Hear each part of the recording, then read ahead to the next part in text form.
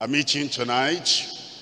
Thank you for your grace. Thank you for your strength. Thank you for your power, the power in the Holy Ghost, keeping us on and making us to feed into your plan for this day, for this period.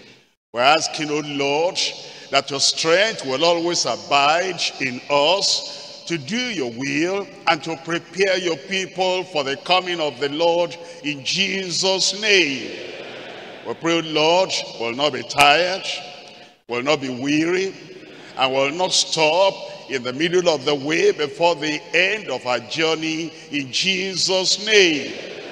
Help us, Lord, to be faithful at all times, in all things, in readiness for the coming of the Lord.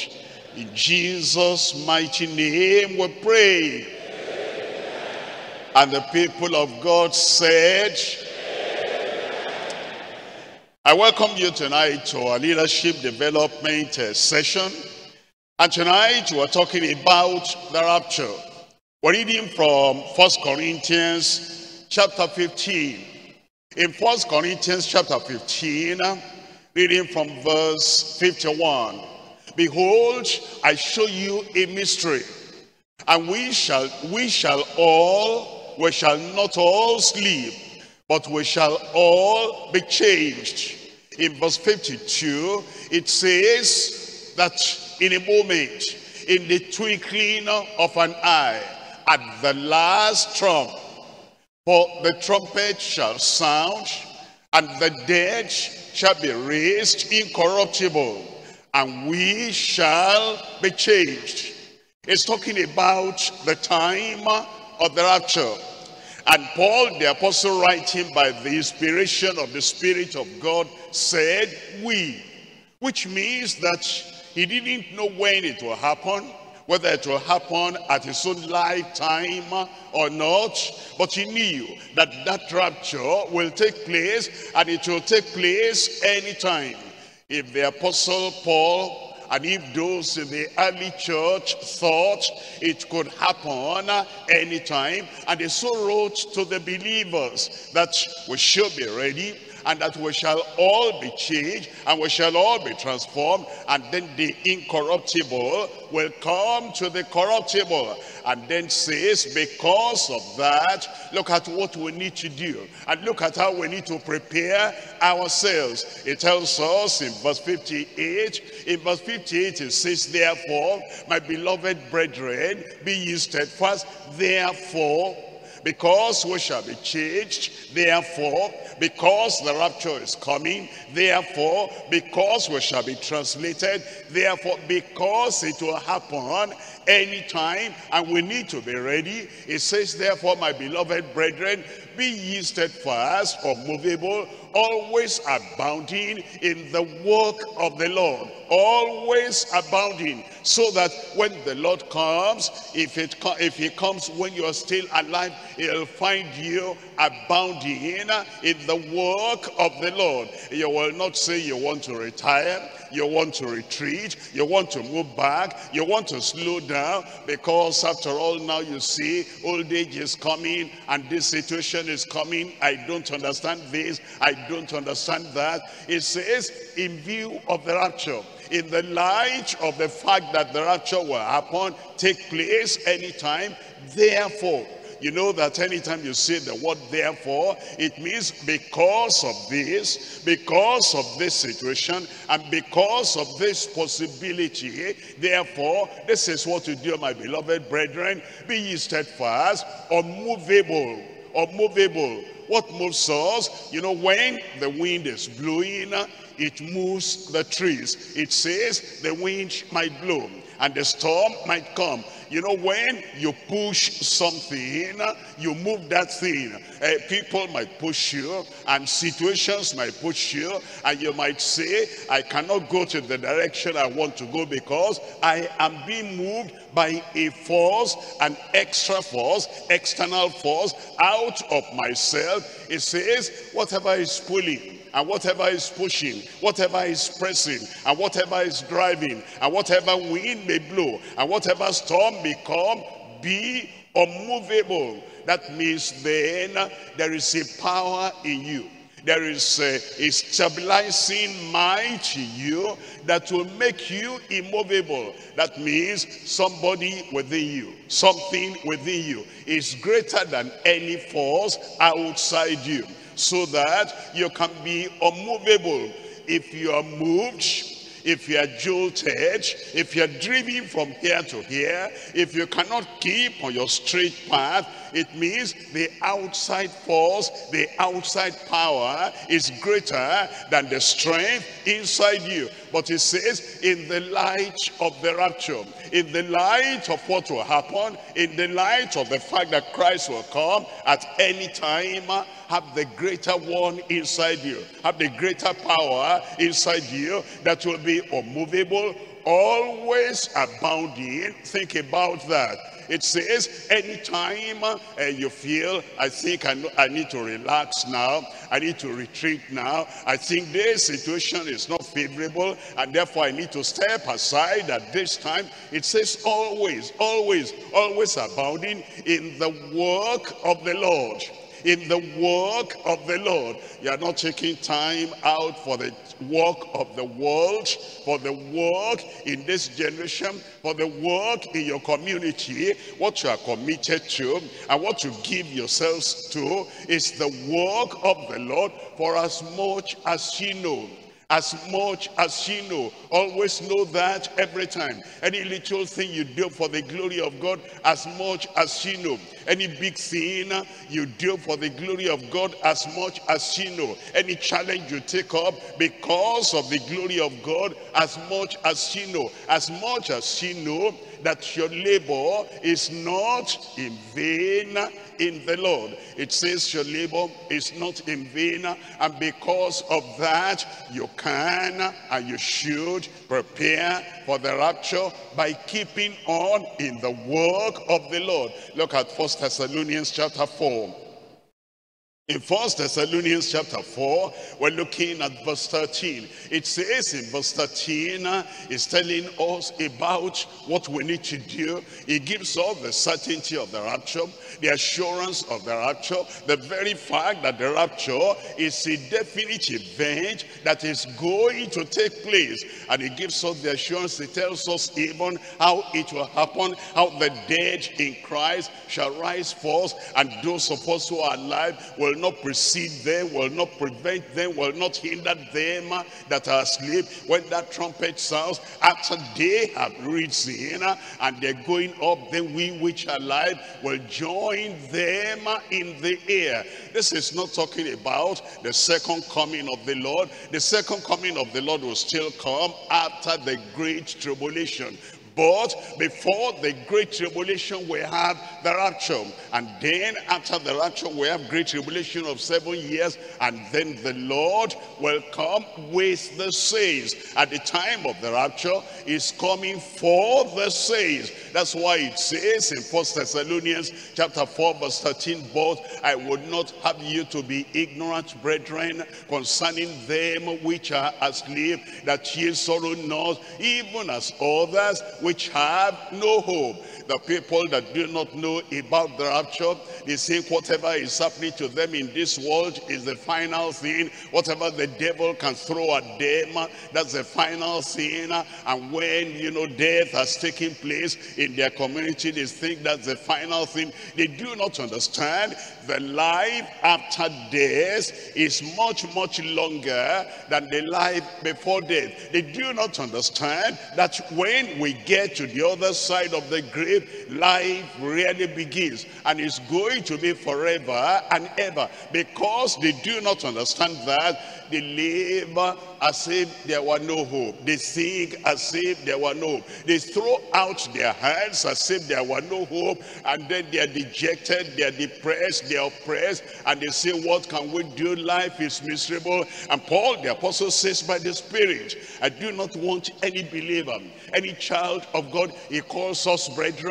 He says concerning them which are asleep, those who have died already, that he should sorrow not, even as those that have no hope. You know, sometimes when people have died, 10 years after they have died, eh, the people are still sorrowful, and then 15 years, 20 years after they have died, because they do not have hope. But in the case of the children of God, we have hope, and your hope will abide in Jesus' name. And then he now talks in verse 14, it says in verse 14, for if we believe, that's the condition. If we believe that Jesus died and rose again. Why did he say that? He's saying, I've called you brethren in verse 13. How did you become a brother? How, do, how did you become a sister?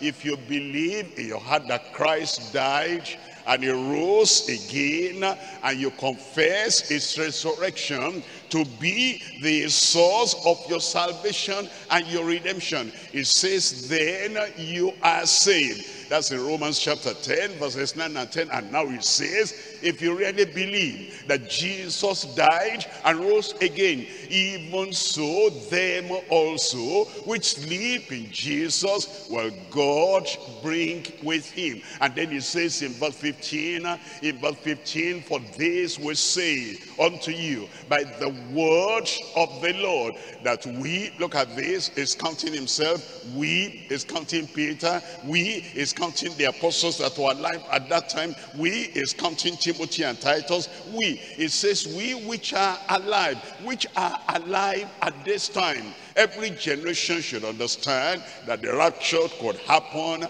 at the time of that generation being alive. That's why it says, we which are alive. It says, and remain unto the coming of the Lord shall not prevent, shall not precede, shall not hinder them which are asleep. And then it says in verse 16, in verse 16, for the Lord himself shall descend from heaven with a shout and with the voice of the archangel and with the trump of God and the dead in Christ shall rise first. Look at that. The dead in Christ shall rise first. The dead in Christ. They believed in the Lord. They were children of God. They had the grace of God in their lives they profess and possess the salvation of the Lord at the time they were alive. And when Christ will come uh, at the rapture, the dead in Christ shall rise first. Now in verse 17, uh, and then we which are alive. He repeats that again. Paul the apostle said we. He said we like Timothy, like Titus, like Epaphroditus, like all the companions, like all the believers at, Thessalonica. He said, we which are alive and remain shall be caught up together with them that is with them who have died and they are now risen. He said, we're not going to hinder them. We're not going to prevent them. He was writing as if the rapture could take place at his own time. You say, why did he write like that? Because nobody knows the day or the time or the hour when the rapture will take place. And that is the concept we ought to have. That's the understanding we ought to have. What's the last thing I want to find uh, Christ should find me doing when he comes. If I know the Lord could come at any time uh, when I'm alone, when no other believer is with me, when the devil is saying now you are free, you can do whatever you want to do, and you can act anyhow because nobody will see you. The thought of the believer is the rapture could take place anytime. We which are alive what do I want Christ to find me doing when he comes? If I find myself at a crossroad, if I find myself in some difficult situation, and then the tendency and the temptation is to compromise, is to yield to temptation, is to fall into sin. If I find myself among unbelievers in the place of work, I find myself among unbelievers in my family, my extended family, and then the challenge is coming, the pressure is coming. This This is what to do. Don't tell us you are a Christian. Don't tell us you are deeper life. This is what you must do. If I find myself in frustration, if I find myself in discouragement, and then the devil is whispering at this time of discouragement now, are you going to continue consistently like you used to do? I must remember that the rapture could take place at any time, and because of that understanding, because of that revelation, because of that knowledge, I would say, I don't know what is the last thing I'll be doing when Christ will come. Because he can come anytime. Maybe you are sick, and as you are sick, uh, you know, you are prayed, and the Lord wants to examine your faith, and he wants to test your faith, and he has not healed you instantaneously, immediately. And then the people, your people, they're saying, look at this now, after all your church has prayed, after all this has happened, and then you're still standing like that. We know a place where can carry you to, and they want to carry you to a place of occultism, a place of evil power, a place of satanic domi domination. And then you say, what can I do now? I'm still so sick, I'm suffering the pain. The pain you will suffer after death, if you go to the wrong side, will be much, much greater. It will be for eternity if you yield at that time. I don't know the last sickness I may be having when Christ will come. My soul must be prepared. My spirit must be prepared. That's why the apostle said, whatever we're going through, they may even stone us. Whatever we're going through, they may put whips on us. Whatever we're going through, challenges may come that we cannot unravel, we cannot understand. Then we which are alive and remain shall be caught up together with them in the clouds to meet the Lord in the air. When you meet the Lord in the air, it will pay for everything you have gone through, all the oppression, all the temptation, all the trial of the difficulties, when you meet the Lord, a minute of the Lord, five minutes of the Lord, on the other side, when you are going to be with the Lord, will pay for anything you have ever suffered. You will forget everything. It says, we'll meet the Lord in the and so shall we ever be with the Lord, so shall we ever be with the Lord. And then he says in verse 18, he says, wherefore comfort one another with these words. It tells us in Luke chapter 21, reading from verse 33. Luke chapter 21, I'm reading from verse 33. Here is the Lord Jesus talking about what he had said, and that everything he has said about the life we ought to live, and about the time of his coming and about the rapture and about the great tribulation after that and about he coming with the clouds of heaven in the glory coming from glory. Everything he has said he said in Luke chapter 21 verse 33 heaven and earth shall pass away but my words shall not pass away heaven and earth shall pass away it is easy for the sun uh, to stop shining. It is easy for the moon uh, to, to get out of existence than for any word, any sentence, any prophecy, any promise of the word of God from Christ to, to become and all. Heaven and earth shall pass away, but my word shall not pass away. And then in verse 34, it tells us, and take heed to yourselves, and take heed to yourself. Temptation can come from yourself, from the flesh. Take heed to yourself. Temptation can come from your thoughts. Take heed to yourself. All those challenges can bring confusion and then you can be destabilized in yourself. Take heed to yourself, lest at any time your hearts be overcharged with surfeiting and drunkenness. Uh, well, uh, believers don't drink, but you know, you can take some substance can make, that can intoxicate you.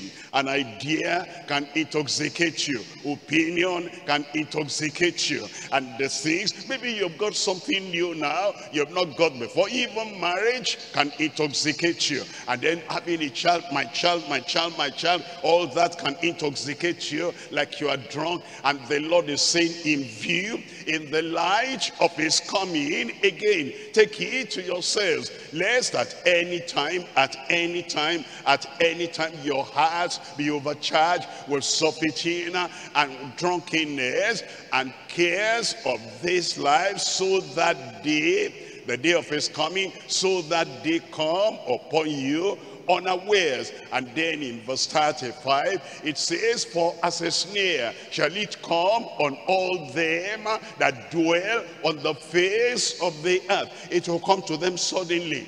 It will come to them unexpectedly. And because they were not preparing and they were not getting ready for the coming of the Lord, it will come to them as a snare. In verse 36, it now says, Watch ye therefore because it will come at any time. Watch it therefore. And you are watching every time. You are watching every moment. Watch it therefore and pray always that ye may be accounted worthy to escape all these things that shall come to pass and to stand before the Son of Man. That's talking about the rapture. That you will escape the tribulation to come, you will escape all the dangers to come, and you will stand before the Son of Man. Today we're looking at the message, daily readiness for the rapture of the saints. Daily readiness for the rapture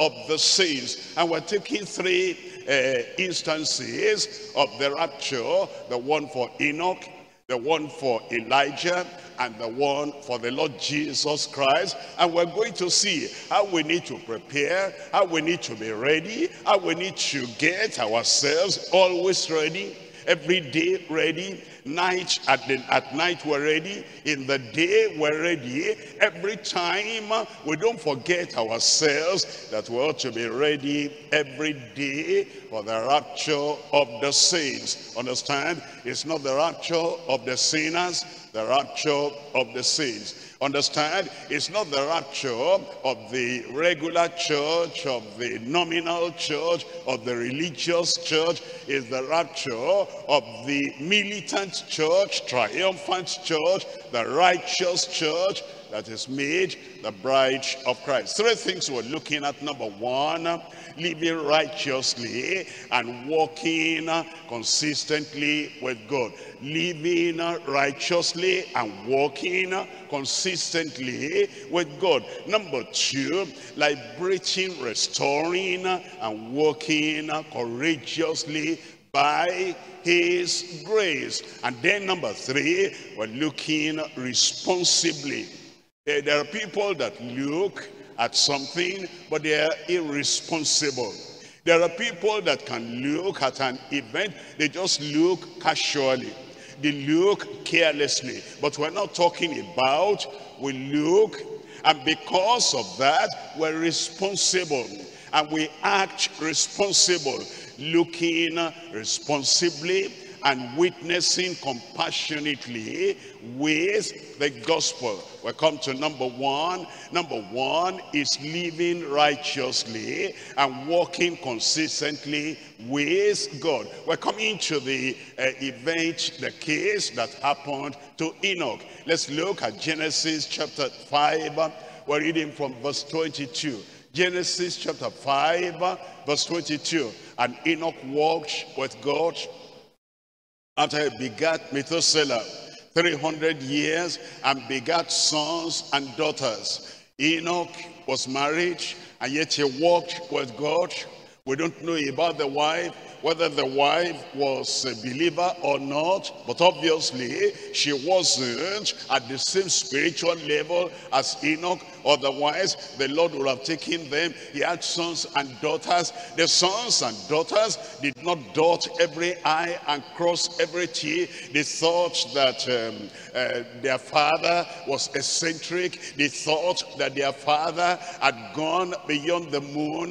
They thought that their father had carried religion religion too far, had carried holiness too far, had carried uh, faithfulness to God uh, too far. They were not raptured, but Enoch in spite of the wife, in spite of the sons and the daughters, he walked with God. He walked with God. And look at verse 24. In verse 24, it tells us, and Enoch walked with God. That's emphasized again. He walked with God and he was not, for God took him. He was not, for God took him. There were people in the old covenant, there were people in the Old Testament that experienced the great experiences and the coming experiences of the new covenant. You see, the rapture is meant for the church. Those who died in Christ, they'll be, they'll be raised up. And those who are still alive and remain in Christ, they'll be caught up. It's for the church. And yet Enoch experienced that before the time of Moses and before the time of the prophets and before the time of the kings. In the case of Enoch, he had no word, he had no doctrine, and he had no revelation of the rapture. All the revelation he had was the revelation God had given to Adam and Eve that because you have eaten of that fruit of the tree, surely you will die.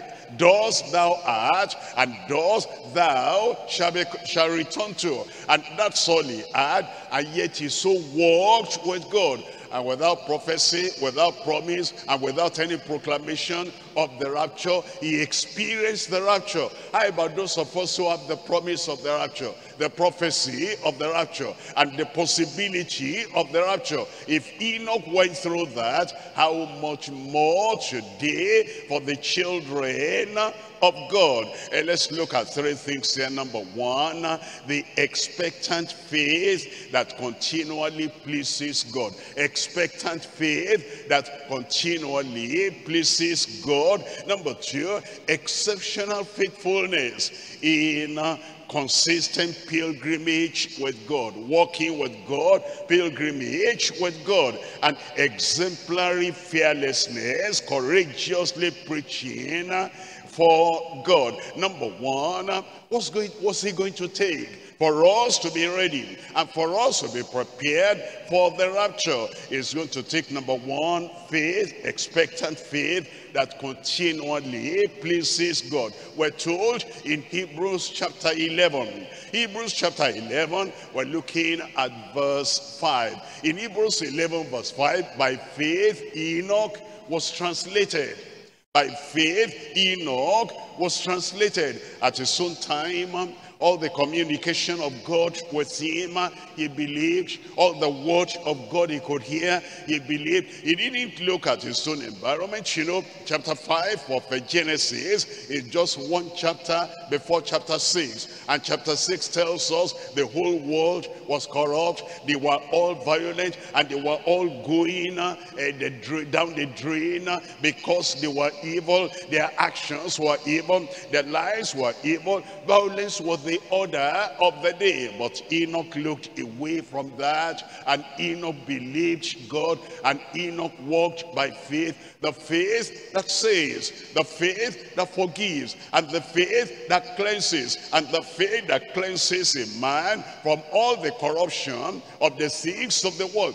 and the faith that lives according to the word of God. That Enoch by faith, it was translated that he should not see death he should not taste death. it should not experience death and was not found because God had translated him because God had taken him away. And then he says, for before his translation, he had this testimony that he pleased God. Heaven gave testimony concerning Enoch. He pleased God. The angels gave testimony. He pleased God. And those who could see him, the Almighty God who could see him in every corner, behind any closed door and behind any curtain and behind that could see his thought, that could see his life, God bore witness to him that he pleases the Almighty. And then even, uh, you know, people at home, his wife may not agree with, you know, his uncompromising stand.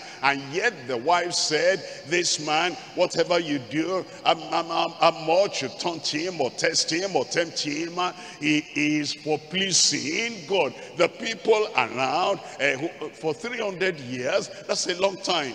300 years watching him uh, and going behind him uh, and looking at everything he did, they had this testimony that he pleased God.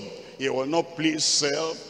He will not please the flesh. He will not please the community. He will not please anyone uh, that is not satisfied with his religious and righteous stand. That's what it takes to make the rapture that we so have the faith in God, we have the faith in the Lord, that we're going to walk by faith, we're going to live by faith. Others may agree, others may not agree, they may persecute, and they may oppose, and they may criticize, and there may be more problems just because you make up your mind, you're going to place the Lord. The faith that gets ready for the rapture is the faith that places God every time walking by faith. In Second Corinthians chapter 5, reading from verse 6. Second Corinthians chapter 5, we're looking at verse 6. Therefore, we're always confident knowing that once we are at home in the body, we're absent from the Lord.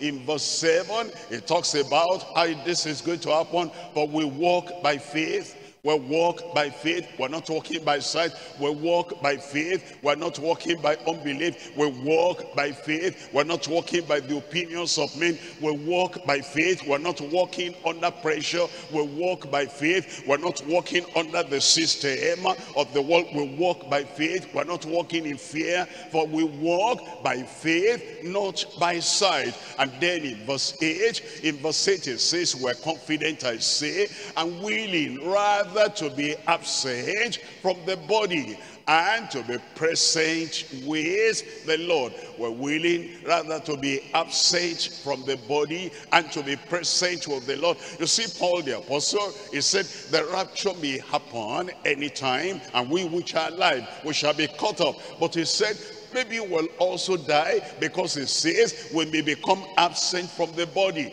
That is our spirit may leave the body and we may die, but our spirit will go immediately and be present with the Lord. But if we're going to be present with the Lord, either we go by death or we go by the rapture. It's going to take faith and this is the kind of faith in the new covenant now. It tells us in Galatians chapter 2, reading from verse 20, Galatians chapter 5, chapter 2, chapter 2, reading from verse 20, it tells us, I am crucified with Christ. Why? Because I'm getting ready for the rapture. Nevertheless, I live, yet not I, but I not allow my personal, private opinion to take hold of me and to control my life and to have the better part of me, yet not I, but Christ liveth in me. And the life which I now live in the flesh, I'm still in the flesh, my spirit, my soul is still under this breath. And then the life which I now live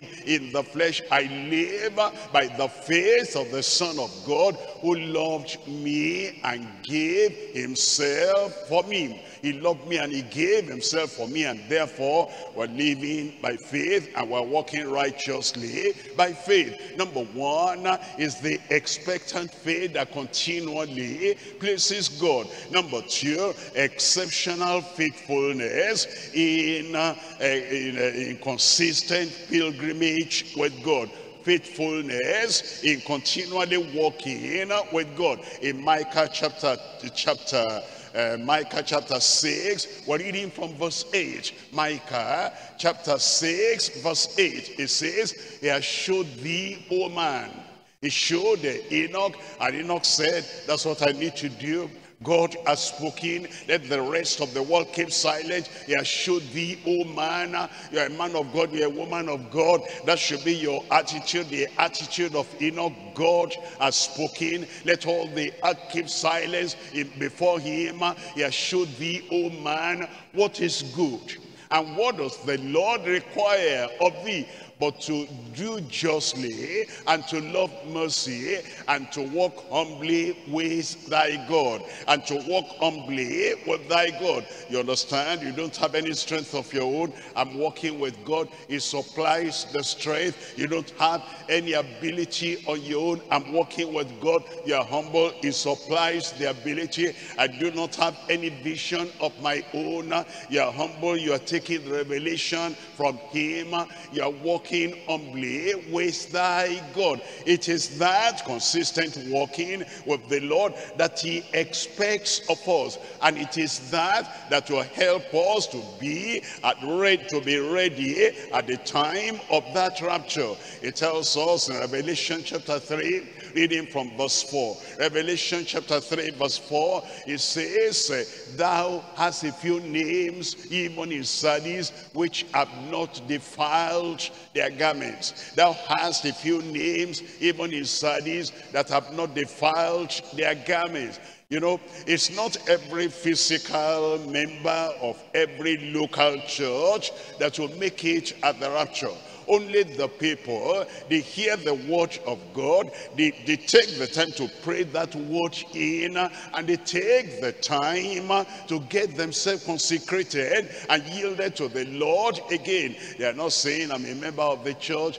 whether you have a name that you live, but thou art dead. I don't worry about that, but I'm attending the services. I'm there all the time, and I give in to all the doctrines and everything they say, whether your heart is is loving God totally and completely, entirely or not. But you know these, those who are going to make it, they're the people who have not defiled their garments. They go to the world, but they say, I'm going to watch, I'll not be defiled. They see the things going on in the world, I'm going to take care, I will not defile myself. Opposite sex, man, woman, will get near them, I will not defile myself. There is dirty money and blood money coming I will not defile myself. The satanic idea, project, and program that is coming. If you get into this, it will give you that. I will not defile myself. And then the character of the world, the characteristics of the world, wanting to impose themselves on the man, on the woman.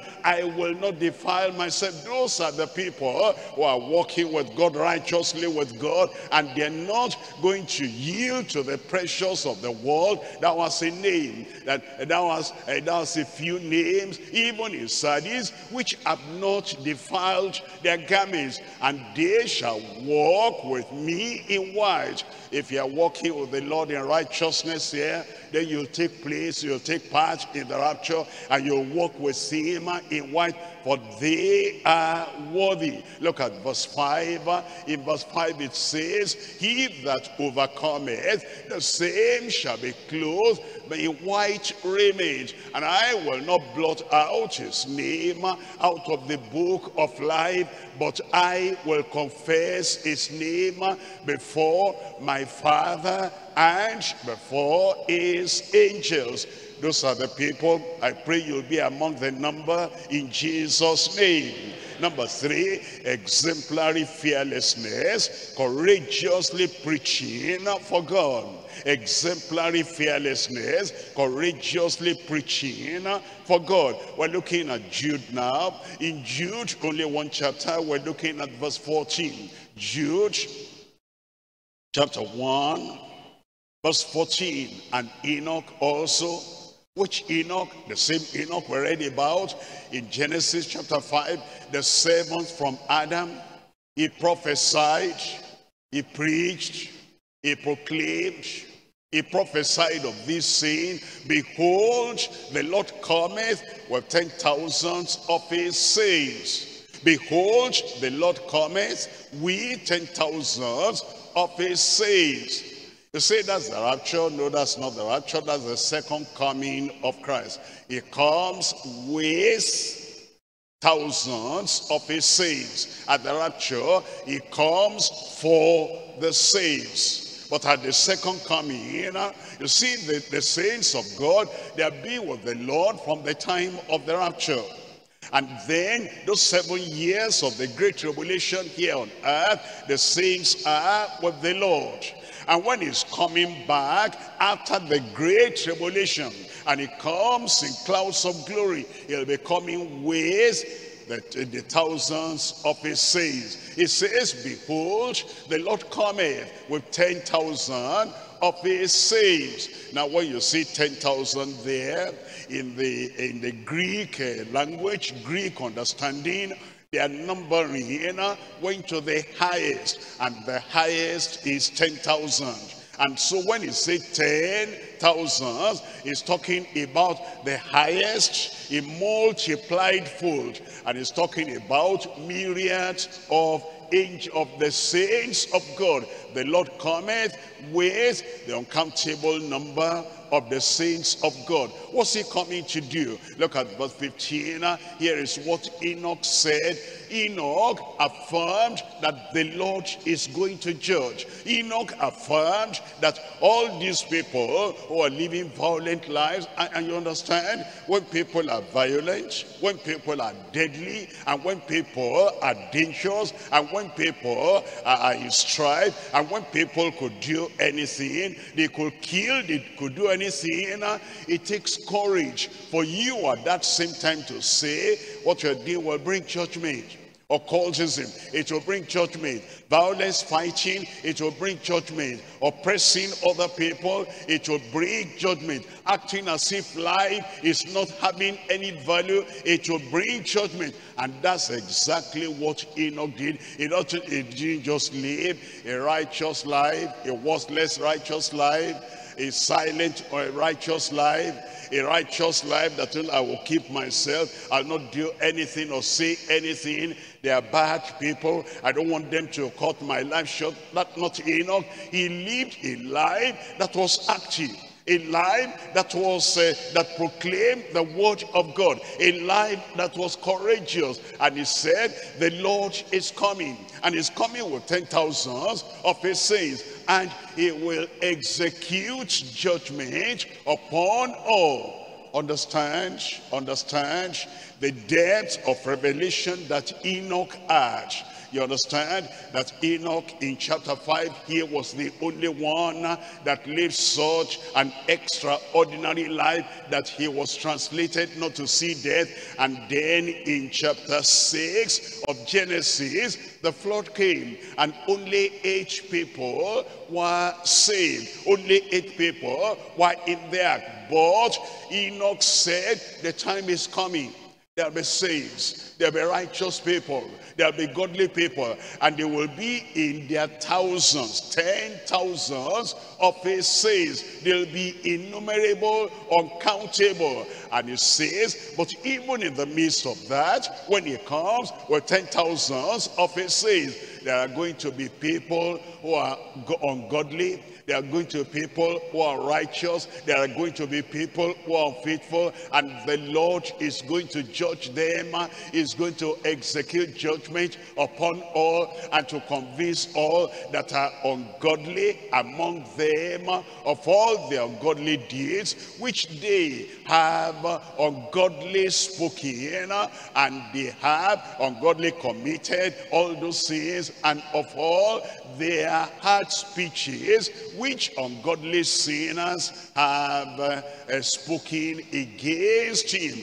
And he says in verse 16, this uh, Jude now talking to us, he says, these are the murmurers and the complain and the complainers, and these are the people walking in after their own laws, and their mouths speaketh great swelling words of vanity, uh, having men's, uh, men's persons in admiration because of advantage. Well, we've learned from Enoch that if we're going to make the rapture, and thank God, we will make it in Jesus' name.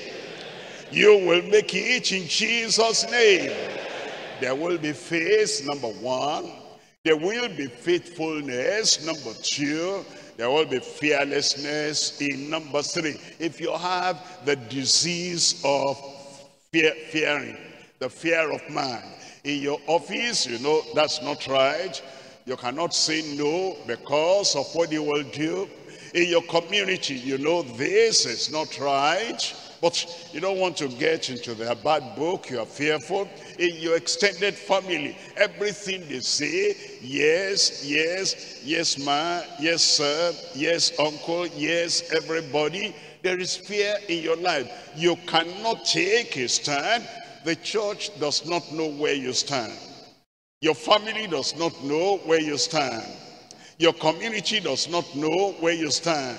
Your extended family does not know where you stand. In the olden days, in the good old days, we knew where you stood. But now, because you are getting older, we cannot tell where you stand because now there is fear that has taken the place of faith in your life. Well, Enoch made that rapture because he had not the fear of man, fear of society, fear of what are we going to eat, fear of if the people don't do this and that, am I going to survive? He didn't have that fear. If we're going to make the rapture, number one, there must be faith. Number two, there must be faithfulness. Number three, there will be fearlessness. So come to number two now. And this is the liberating, restoring, and walking courageously by his grace. I want you to look at Second Kings chapter 2.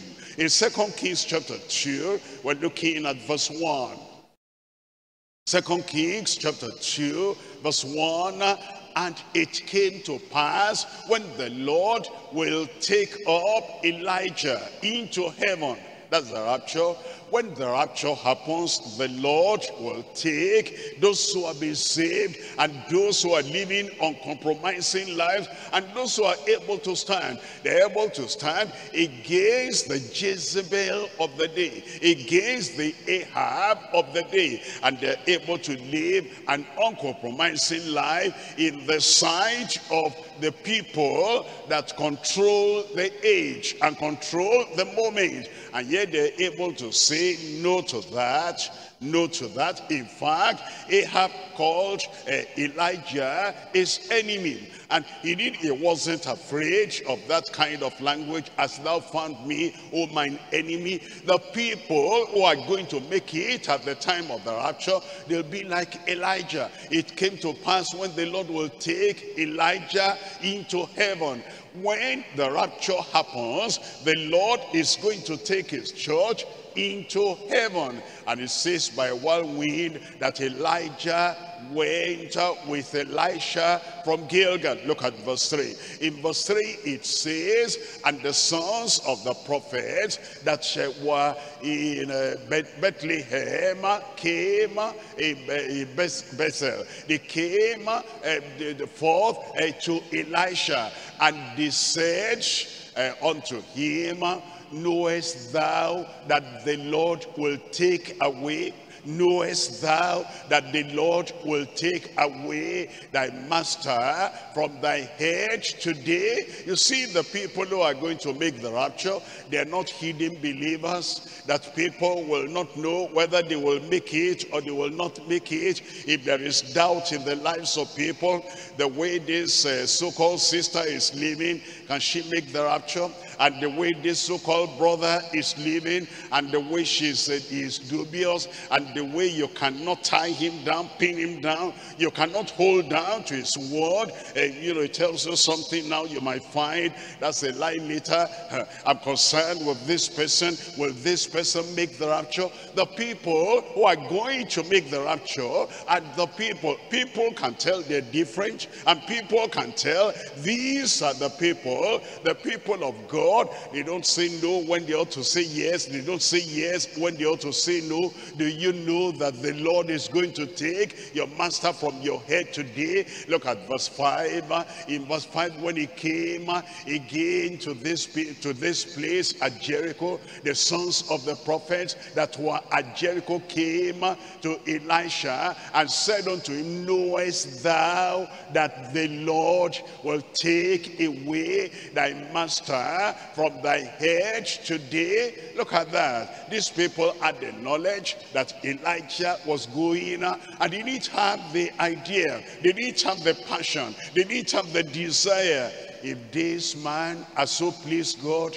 and has so done the work of God that the Lord knows that he has done uh, everything I assigned for him to do and it is time to come home uh, and the Lord is going to spend send the special chariots to take him away. If a man can be like this, I want to be like that you know. They toyed with revelation. They played with revelation. They joked with revelation. They tossed revelation here and there. Do you know the Lord is going to take thy master from thy head today? Are there people like that in our church? They know about the rapture. They can quote the verses of the rapture and they can tell us the rapture is going to happen anytime and they can tell their neighbors, you know, I believe in the rapture and I believe Jesus is coming. He'll come anytime from now. But they're not acting like they really believe that.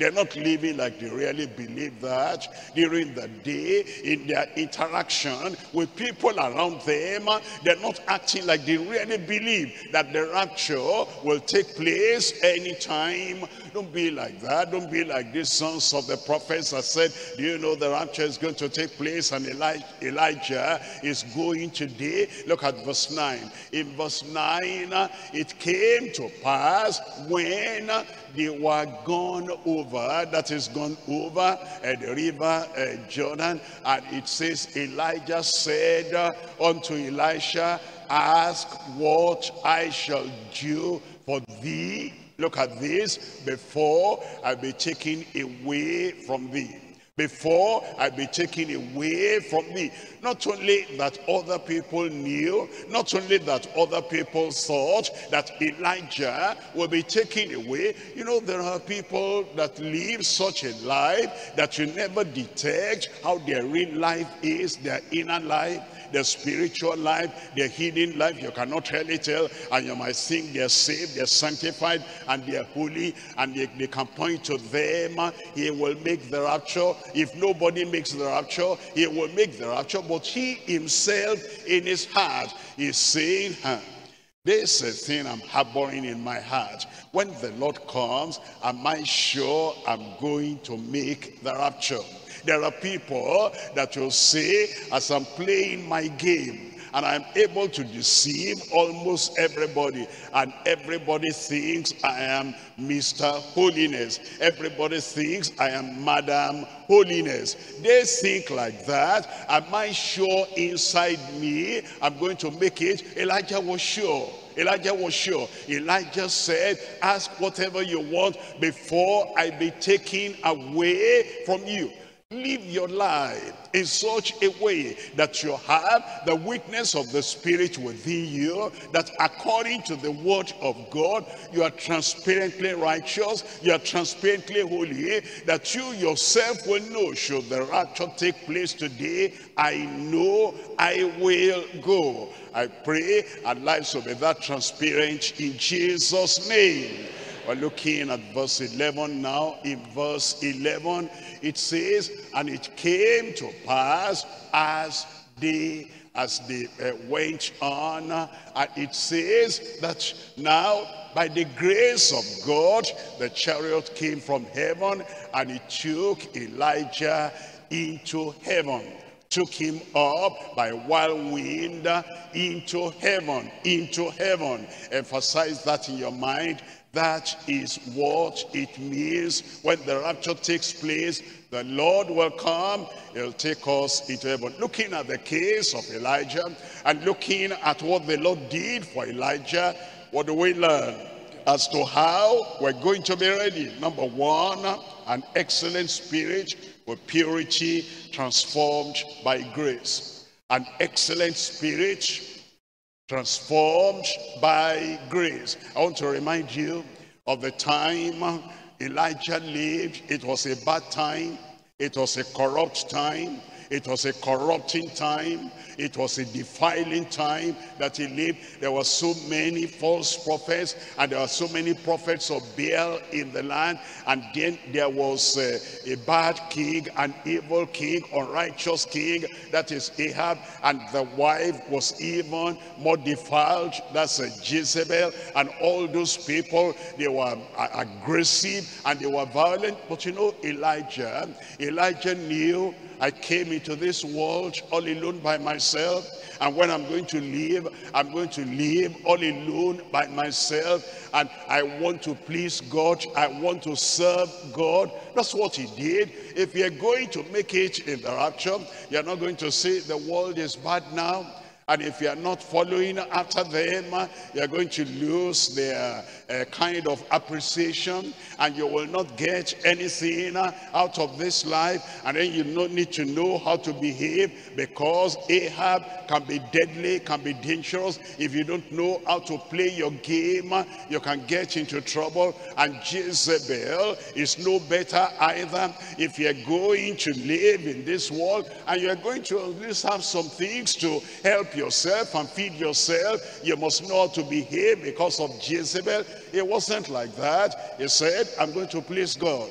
Whoever is pleased, whoever is not pleased, that's their own decision. That's their own opinion. I am going to live to please the Lord. That's what it takes. If we're going to make it in the rapture, there are three things we're looking at. An excellent spirit with purity, a transformed by grace. Number two, an extraordinary spirit and power turning others to righteousness. Number three, an expressive spirit and perception of translation to glory.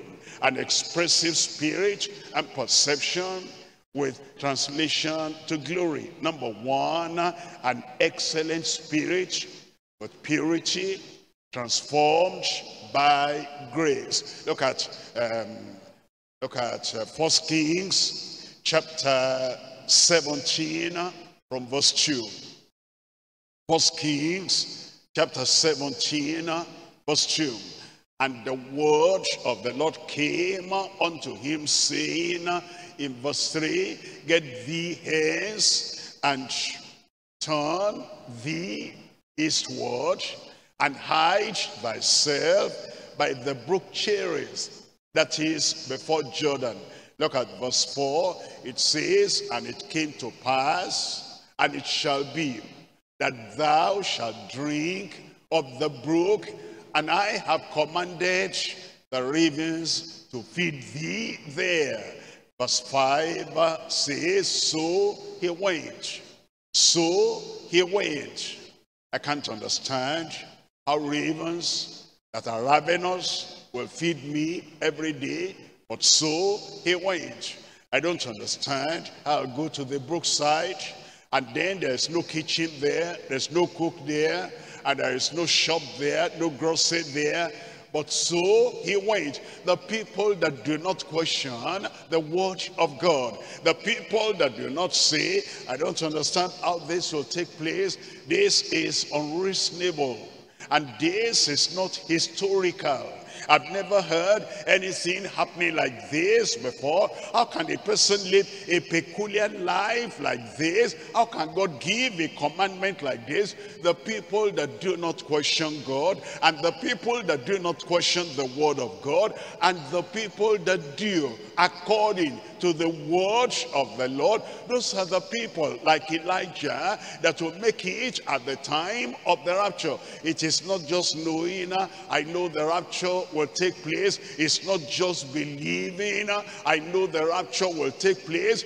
A life of obedience that will not turn the word like this and turn the word of God like that. That will not give any excuse for disobeying the Lord. I don't understand, so I cannot practice that. I don't agree, so I will not practice that. How can God say something like that? And how can God, uh, you know, say something like this and not give me explanation? The people who are waiting for explanation that will never come. They are the people who will miss the rapture. So he went and did according unto the word of the Lord. For he went and then he dwelt by the brook Cherith that is before Jordan. The people who are obedient to the word of the Lord, those are the people, they have an excellent spirit and they have purity of heart in First John chapter 3 from verse 1.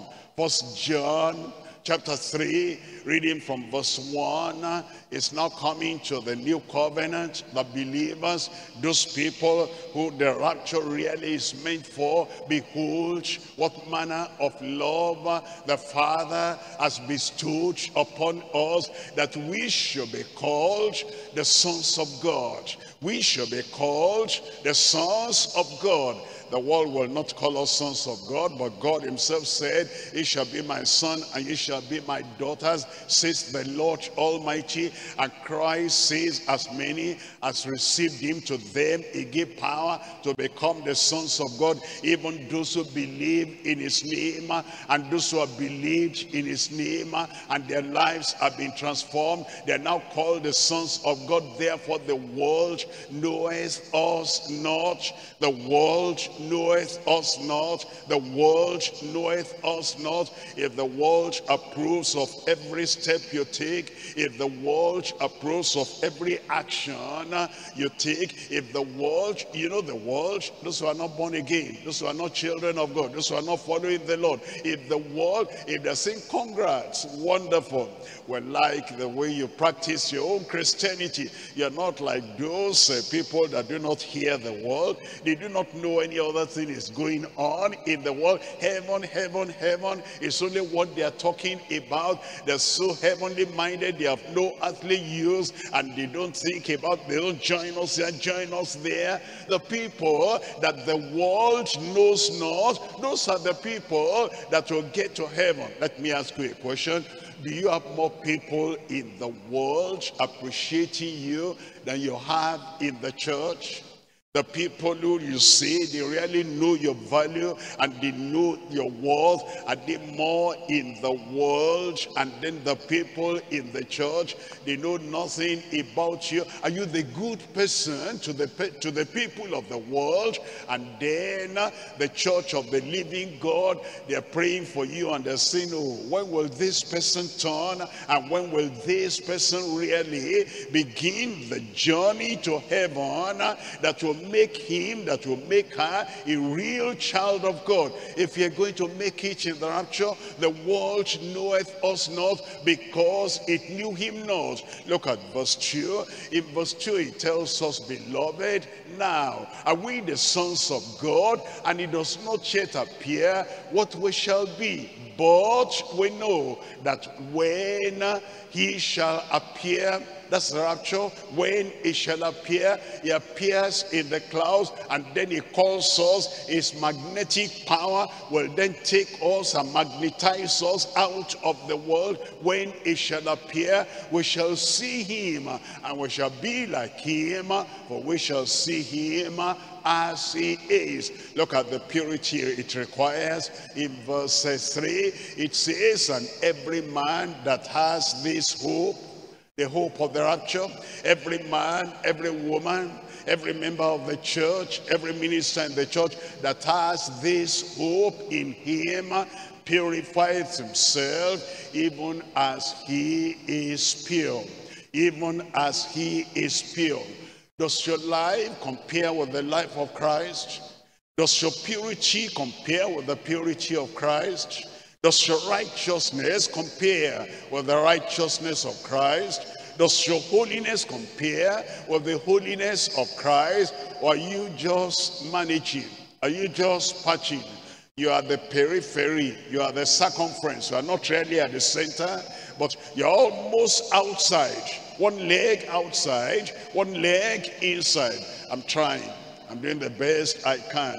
Nobody can be as pure as Christ. Nobody can be as pure as Enoch. Nobody can be as holy as Daniel. I'm just uh, trying my best. Why don't you have the grace? The grace of God comes into our lives and our sins are pardoned and our sins are washed away. And even the inward sin, the depravity, all that is taken away. And then he purifies us through the blood of the Lamb, even as he is pure. That's what it takes to make the rapture an excellent spirit and purity transformed by his grace. Number two, an extraordinary spirit and power turning others to God. Turning others to God. You know the story. It's in First Kings chapter 18 how he came uh, that is the how, how, how this uh, man uh, elijah came and said how long will you halt between two opinions?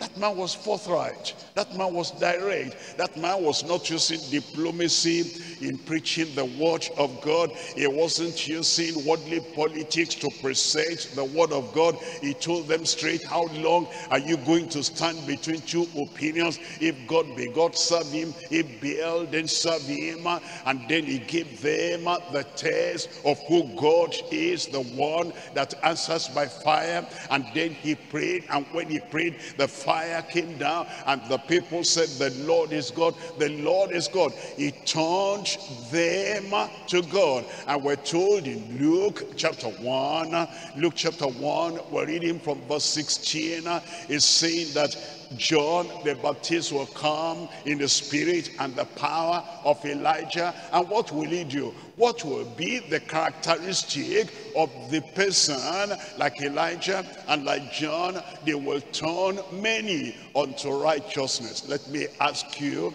does your life turn anyone to righteousness?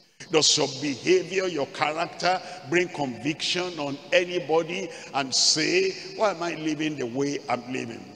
The way I see this brother, the way I see this sister, I have the desire to be holier. I have the desire to be purer. I have the desire to turn more unto righteousness. Your husband, does your life encourage your wife to become more righteous? Does your life encourage your children to become purer? And you are a worker in the office. Does your life and your commitment and your faithfulness and your fearlessness. Does it encourage other people and turn them to righteousness. You're a member of the church a member of the house fellowship a member in that local church. The way you live and the way you talk does your life not to talk of ministry and not to talk of preaching yet but your life does it turn other people unto righteousness? But you know in the case of elijah he had had an extraordinary spirit and power, turning others to righteousness. And we're told about John in Luke chapter 1, verse 16. And many of the children of Israel shall he turn to the Lord their God. Many of the children of Israel shall he turn to the Lord their God. Now understand, there are people who say they're children of God, they say they're workers, they say they're leaders, they don't have any sinner, they have turned to the Lord. I know you counsel, I know you touch other people's lives, I know you help other people, I know you encourage other people, but you know, all the people you're encouraging, they're the people others have turned to the Lord. Others are brought to the Lord. All the people you see, you are, you know, leading, uh, you're helping, uh, they're people that others are brought to the Lord. Have you yourself, by your life, by your testimony, by your preaching, by your, by your ministry, have you turned anyone unto the Lord? But you know, as we look at Elijah and how he made the rapture, here is the quality that we'll see in his life. many of the children of Israel shall he turn to the Lord their God. And in verse 17, in verse 17, it tells us very well that he shall go before him that is before the Lord in the spirit and in the power of Elias. In the spirit and the power of Elias. Know that those two things are joined together the spirit and the power. Somebody says I have the spirit of God. Where is the power? I'm baptized in the Holy Ghost. Where is the power? I speak in tongues. Where is the power I'm filled, I'm saturated with the Spirit of God. Where is the power? The evidence of the Spirit, that extraordinary Spirit, the baptism in the Holy Ghost is power. Ye shall receive power after that the Holy Ghost is come upon you. And ye shall be witnesses unto me both in Jerusalem and in Judea and in Samaria, then to the uttermost part of the earth. It shall go before him in the spirit and power of Elias. Then it says to turn the hearts of the fathers to the children and the, and the hearts of the disobedient to the wisdom of the just. The disobedient to the wisdom of the just. You see, you are a leader. There are people who are disobedient and you have never influenced them to turn away from their disobedience unto the just life, the wisdom of the just. What kind of a leader are you? And what kind of minister are you? You don't have the wisdom to turn them from disobedience. You don't have the courage to turn them from disobedience. You're even afraid of them. They're higher. The disobedient are higher than you are. And you cannot influence them in the right direction. The people who are going to make the rapture are the people, number one, on their own, they're purified by the transformation of the grace of God in their lives. Number two, they have the power to turn other people. Their lives will turn other people. Their preaching will turn other people. Their disposition will turn other people. And their influence will turn other people from disobedience to the, to the wisdom of the just and to make ready, to make ready a people prepared for the Lord. Those are the people who are getting ready for the rapture. They make other people ready for the coming of the Lord. Number three here is an expressive spirit and perception of translation to glory. Of translation to glory. He knew, he had the perception. He had the understanding he had the enlightenment. He knew from the depth of his heart, he was going to be raptured. It was going to be taken away. Apart from the fact that other people knew, he himself knew, and he expressed it, asked, what I will do for you before I be taken away from you. And then we who are children of God, we're not in ignorance, even though we don't know the day, we don't know the time when the Lord will come, but we know that he is coming. We have the perception and we're living uh, in that understanding and we're living in that perception. We're living in that understanding. We're living in that knowledge. We're living in that consciousness that the Lord will come at any time and we know it sooner than later we know he is coming and the coming is not going to be prolonged anytime. When you see these things you know that the time draws near. In first thessalonians chapter 5 first thessalonians chapter 5 we're reading from verse 4 in First Thessalonians chapter 5, reading from verse 4, But ye, brethren, are not in darkness. You have enlightenment ye brethren are not in darkness. You have the perception. Ye brethren are not in darkness that that day should overtake you as a thief. In verse 5, he tells us, ye are all children of light. If you're children of light, the light is shining in all the circumstances around you. If you're children of light, the light is shining and is shining across your pathway. And you have the proper perception. It says here, all the children of light and the children of the day were not of the night nor of darkness. And then in verse 5, uh, verse 6 rather, in verse 6, therefore, let us not sleep as do others. Let us not sleep and become unconscious as do others. Let us not sleep and become forgetful as others do. Let us not sleep and then forget everything. Forget the day, forget the date, forget the previous, forget the coming, the future. Forget even where we are. When we are asleep, we are maybe you're having a dream of something that is unreal or fantasy. Let us not sleep as do others, but let us watch and be sober. Do you know Christ is coming? Let us watch and be sober. Are you enlightened about the rapture? Let us watch and be sober. And you, do you know that it is sooner than later? Let us watch and be sober. Do you have perception that the Lord is coming? He'll get here anytime from now and take the saints away. Let us watch and be sober. If you are not watchful, that's the opposite.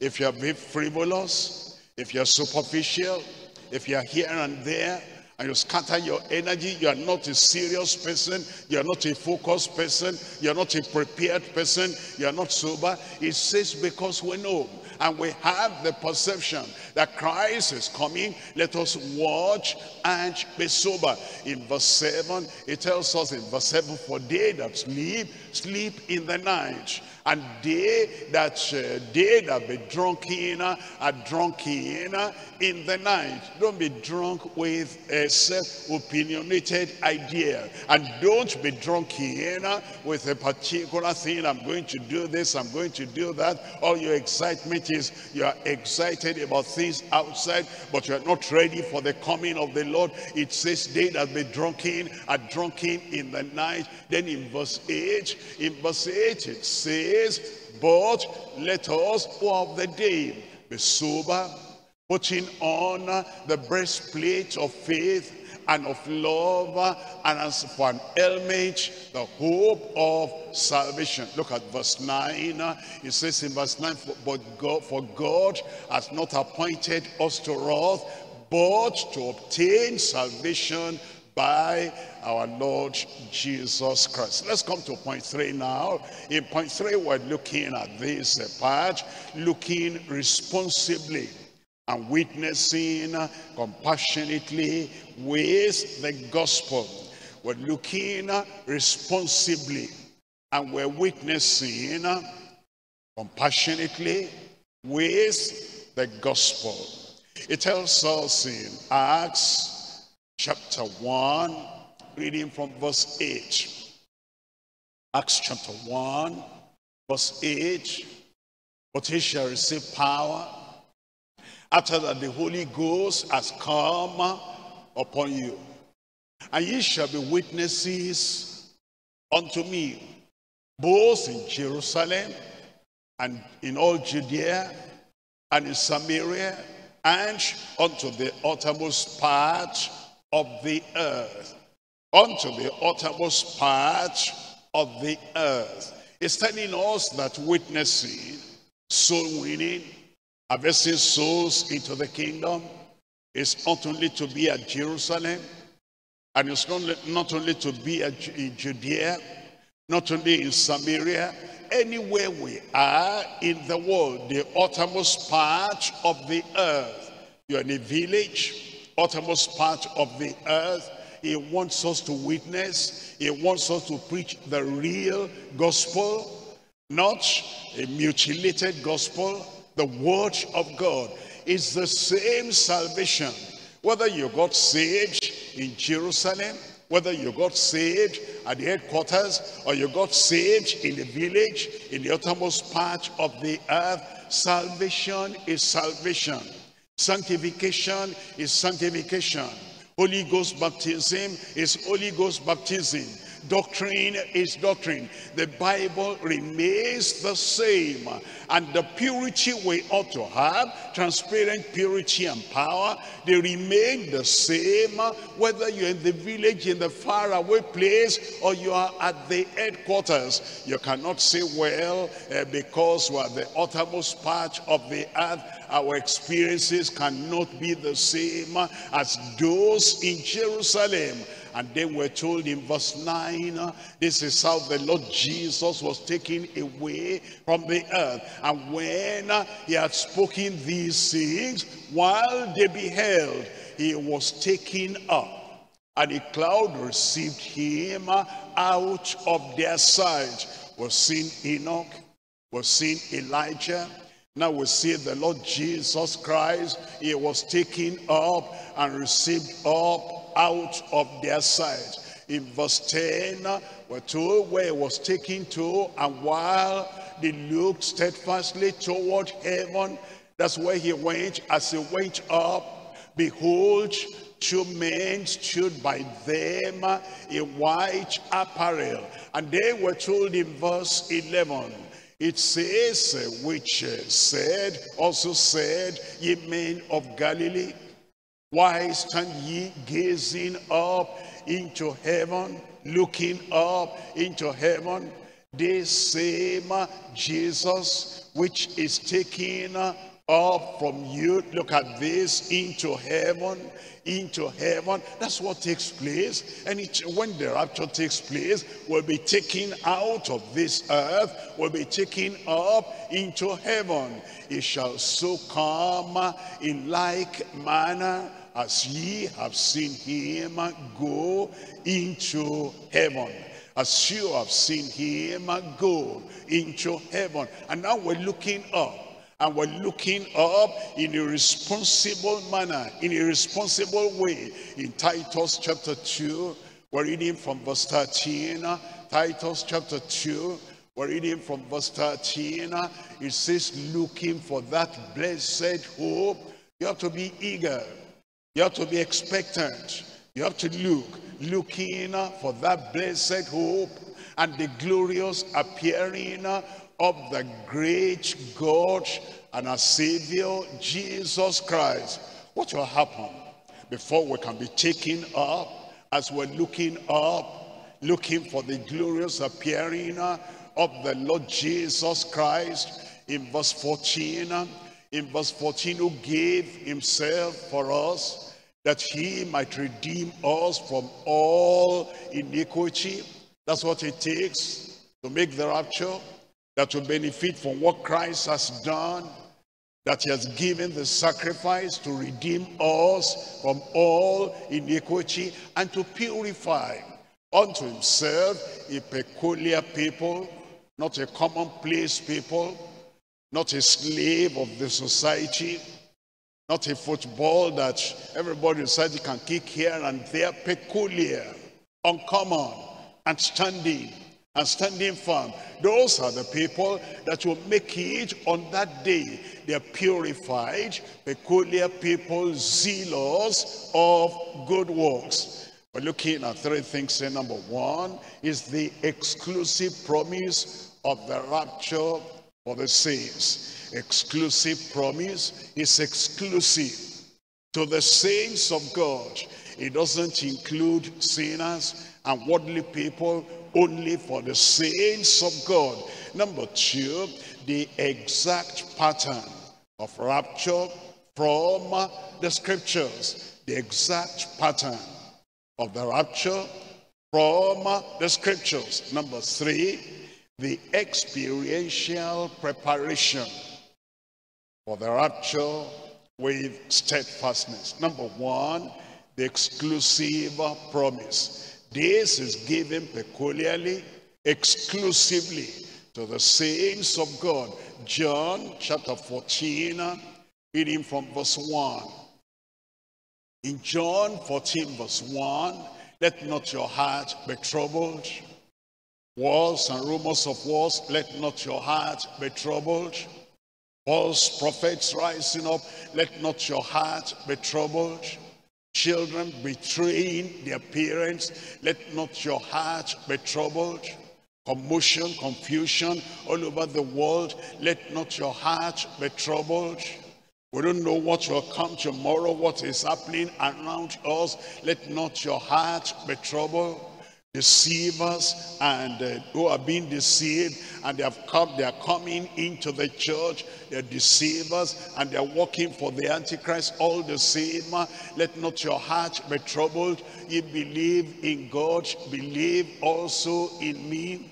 In verse 2 it says in my father's house are many mansions. If it were not so i would have told you Everything I told you is the absolute truth, is the gospel truth. Heaven and earth shall pass away, but my words shall not pass away. If it were not so, I would have told you, I go to prepare a place for you. As I'm going, I go to heaven. I'm received up into heaven. But I'll be thinking of you. I'll be planning for you. I'll be preparing a place for you. And then in verse 3 he says, And if I go and prepare a place for you, I will come again and receive you. That's the rapture. And receive you when he comes at the second coming, he comes of the saints and is not going to receive the believers. Has received them already at the time of the rapture and is coming now to rule and to reign and to set up his kingdom in the world. That's at the beginning of the second coming. But this time now, the rapture, and receive you unto myself. He'll be in the air, and the dead in Christ shall rise, and then he will receive the believers unto himself, that where I am, there ye may be also. That's the reason we're looking forward to that time. And it will happen anytime. Number two, the exact pattern of the rapture from the scriptures. Exact pattern. We've seen that of Enoch. We've seen that of Elijah. Now we'll see that of Christ Jesus our Lord. Look at Mark chapter 16 verse 19. Mark chapter 16, verse 19. So then, after the Lord had spoken unto them, he was received up into heaven. He was received up into heaven. That's the pattern. He will receive us. I come and I will receive you unto myself, received up into heaven and sat on the right hand of God. Look at Luke chapter 24. In Luke chapter 24 verse 51 is talking about the pattern, how it will be when it comes to our turn, when it comes to your turn. I said when it comes to your turn. Look at it in Luke chapter 24 verse 51.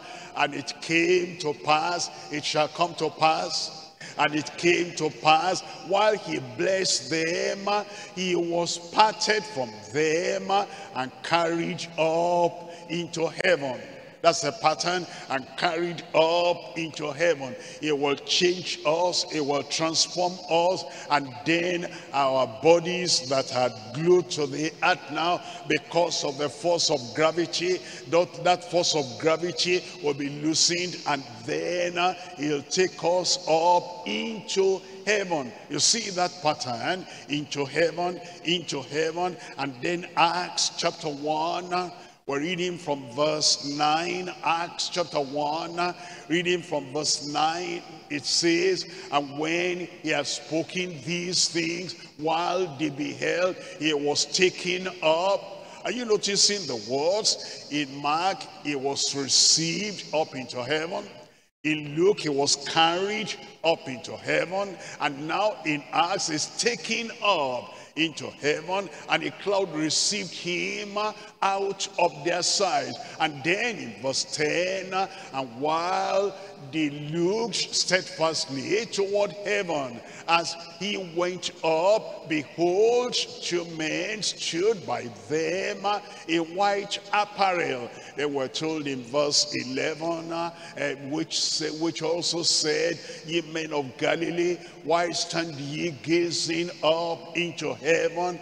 This same Jesus, which is taken up from you into heaven, taken up from you into heaven, uh, shall so come uh, in like manner as ye have seen uh, him go into heaven. He will come. He will receive you too as you have seen him go into heaven. In Philippians chapter 3 verse 20. Philippians chapter 3 we're reading here from verse 20. It says, for our conversation is in heaven. Our expectation is in heaven. Our focus, our, our expectation is in heaven. From whence also we look for the Savior from heaven is coming and we're looking for the Savior, the Lord Jesus Christ. Then in verse 21, in verse 21, who shall change our vile body who shall change our weak body, who shall change our body that is controlled and pulled down by the force of gravity. He will change a foul body that it may be fashioned like unto his glorious body what was his glorious body like after he rose from the dead and the doors were closed? And then uh, he went into them and said peace be unto thee. When all the doors are locked maybe you have slept in the night and you have locked all your doors our bodies are fashioned like unto his glorious body and the rapture takes place through that closed door and through the roof up there. You will go and then the roof will not stop you. The closed door will not stop you because we're fashioned like unto his glorious body according to the working whereby he is able even to subdue all things unto himself. The experiential preparation for the rapture was steadfastness. Now that we know that the Lord is coming, he wants us to be prepared and our preparation is to be with steadfastness that we're ready yesterday. That's not enough for today. You must be ready today. You must be ready tomorrow and ready every time.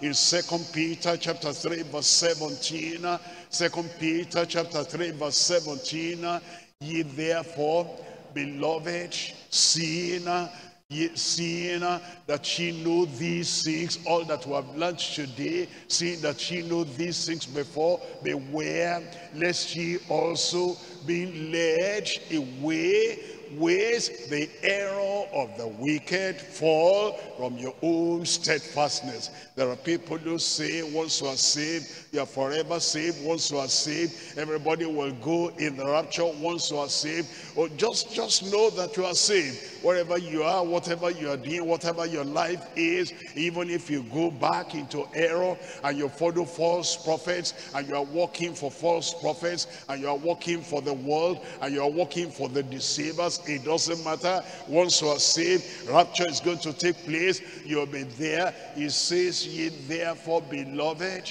seeing ye know these things before.